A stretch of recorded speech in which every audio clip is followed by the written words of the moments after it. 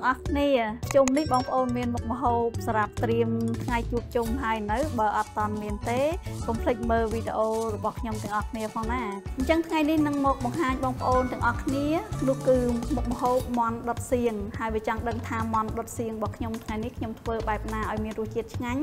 តោះបងប្អូនទៅធ្វើជាមួយនឹងខ្ញុំទាំងអស់គ្នា ឥឡូវបងប្អូនយើងមករៀបគ្រឿងដើម្បីធ្វើមាន់ដុតសៀងជាមួយខ្ញុំហើយចំពោះមាន់ដុតហ្នឹងអឺគ្រឿងយើងមានដូចជាគល់សក្រីហើយគល់សក្រីយើងដំបែបហ្នឹងមកយើងដំតិចតិចចឹងមកបងប្អូនហើយយើង ទុកម្លាយសិនតមកទៀតអឺខ្ញុំប្រើខ្ទឹមក្រហមខ្ញុំអត់ដំទេបងប្អូនខ្ទឹមសក៏អត់ដំដែរហើយខ្ញុំបន្ថែមម្ទេសក្នុងនឹងបន្តិចទៀតបើសិនជាបងប្អូនញ៉ាំម្ទេសណាបងប្អូនអាចដាក់បានប៉ុន្តែបើសិនជាបងប្អូនអត់ញ៉ាំទេបងប្អូនមិនបាច់ដាក់ក៏បានដែរចឹងហើយយើងដាក់ម្លាយចឹងមកហើយនេះគឺជា វ៉ាន់ស៊ុយបងប្អូនដាក់ដើម្បីឲ្យមានក្លិនឈ្ងុយនៅក្នុង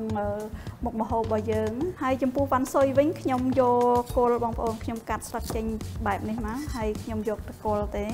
ខ្ញុំដាក់ប៉ុណ្ណេះបងប្អូនអញ្ចឹងហើយខ្ញុំទុកម្ដុំសិនឥឡូវបងប្អូនយើងមកកិនសៀងខ្ញុំកិនបន្តិចសិនបងប្អូនចង់ដាក់ទាំងមូលទេក៏បានដែរប៉ុន្តែខ្ញុំកិនបន្តិចទៅឲ្យវាបែកបែកតិចទៅសំណុកវាចូលជាតិបានល្អបងប្អូន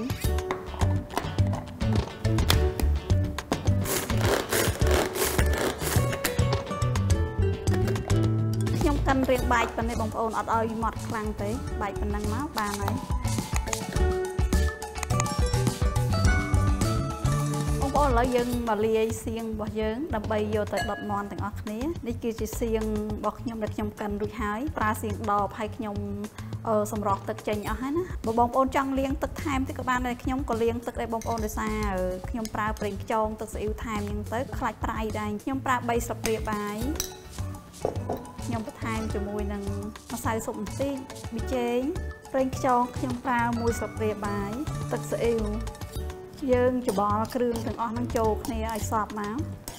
ខ្ញុំអត់ដាក់ស្ករទេបងប្អូនអឺដោយសារខ្ញុំប្រើទឹកដូង កន្លែងនេះបងប្អូនអាចប្រើទឹកធម្មតាក៏បានដែរបើសិនជាបងប្អូនអត់មានទឹកដូងបើសិនជាបងប្អូនប្រើទឹកធម្មតាបងប្អូនអាចបន្ថែមស្ករលើនឹងទៀតប៉ុន្តែខ្ញុំប្រើទឹកដូងបែបនេះគឺខ្ញុំអត់ប្រើស្ករទេបងប្អូនទឹកដូងផ្អែមស្រាប់ហើយហើយខ្ញុំប្រើដូងក្អូបទៀតកាន់តែផ្អែមទៀតហើយបងប្អូនដូងក្អូបមិនជាធំទេបងប្អូនពីរផ្លែតិចណាស់ទេមួយចាននេះអញ្ចឹងល្មមជាមួយមាន់ពេលដែលយើងដាក់ដុតជាមួយមាន់ទៅគឺឆ្អិនរសជាតិមកល្មមដែលយើងចង់បានហ្មងបងប្អូនគ្រឿងយើងរួចហើយបងប្អូនតែប៉ុណ្្នឹងឯងហើយយើងទៅរៀបមាន់ដើម្បីដាក់ដុតទាំងអស់គ្នាឥឡូវយើងចាប់ផ្ដើមរៀបគ្រឿងបងប្អូនគល់សក្តិខ្ញុំរៀបនៅខាងក្រោមអញ្ចឹងបងប្អូនមានរំដេងថែមរំដេងបានណាអឺបើសិនជាបងប្អូនញ៉ាំប្រភេទក្លិនស្លឹកក្រូចសើចអីទៀតបងប្អូនក៏អាចបន្ថែមបានដែរប៉ុន្តែខ្ញុំ អត់បានដាក់ទេបងប្អូនហើយចំពោះស្លឹកក្រូចសើចដុតមន់ខ្ញុំអត់សូវប្រើទេបងប្អូនដោយសារអត់ចូលចិត្តក្លិនដល់ពេលអញ្ចឹងអត់សូវដែរប្រើទេរួចហើយខ្ញុំលើកមន់ដាក់ពីលើចេះបងប្អូនមន់យើងដាក់អញ្ចឹងមកហើយគ្រឿងក្នុងរបស់មន់យើងដាក់គៀននឹងមកទឹកសៀងដែលយើងលាយគ្រឿងហ្នឹងយើងចាក់ចូលចឹងមកបងប្អូន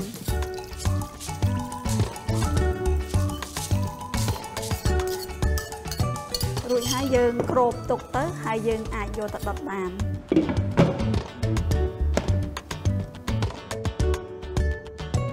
បងប្អូនបន្ទាប់ពីខ្ញុំដាក់ដុតមន់យើងរយៈពេល40នាទីមកឃើញថាមន់របស់ខ្ញុំឆ្អិនបានល្អហើយខ្ញុំប្រើពេល40នាទីដោយសារមន់របស់ខ្ញុំថ្ងៃនេះរាងធំអញ្ចឹងហើយ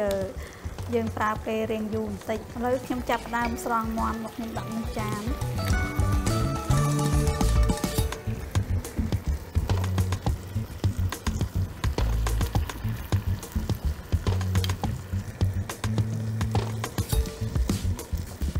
និយាយពីរសជាតិធានាថាឆ្ងាញ់ចោបមាត់តែម្ដង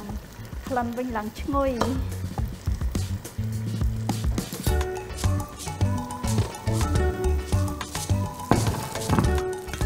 បងប្អូនឥឡូវឆ្អិនហើយយើងចាប់ផ្ដើមកាត់រៀបចំដាក់ចានហើយយកទៅញ៉ាំមើលពណ៌របស់គេបងប្អូនស្អាតមែនទែនមិនត្រឹមតែរូបរាងស្អាតទេនិយាយពីរសជាតិវិញញា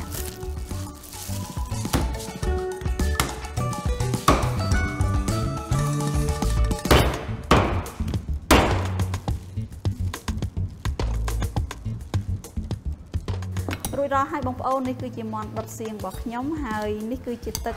សៀងដែលយើងដុតមន់សល់ហ្នឹងបងប្អូនយើងយកមកស្រោចបែបហ្នឹងមកយើងស្រោចពីលើបែបហ្នឹងមកដើម្បីឲ្យមើលទៅទំនងហើយបង្កើនរសជាតិនៅក្នុងមន់ដុតរបស់យើងហ្នឹងកាន់តែមានរសជាតិដិតហើយឆ្ងាញ់ទៀតផងបងប្អូនបន្តមកទៀត ខ្ញុំបន្ថែមវ៉ាន់ស៊ុយបន្តិចហើយវ៉ាន់ស៊ុយនេះយើងគ្រាន់តែដាក់លំអទេបងប្អូនលំអមើលទៅឲ្យឃើញថាតាក់ទាញគួរឲ្យចង់ញ៉ាំណាមួយចាននេះយ៉ាងម៉េចដែរបងប្អូនសម្រាប់ការរៀបចំរបស់ខ្ញុំបើសិនជាបងប្អូនពេញចិត្តកុំភ្លេចជួយ like share វីដេអូរបស់ខ្ញុំឲ្យបានច្រើនច្រើនផងណា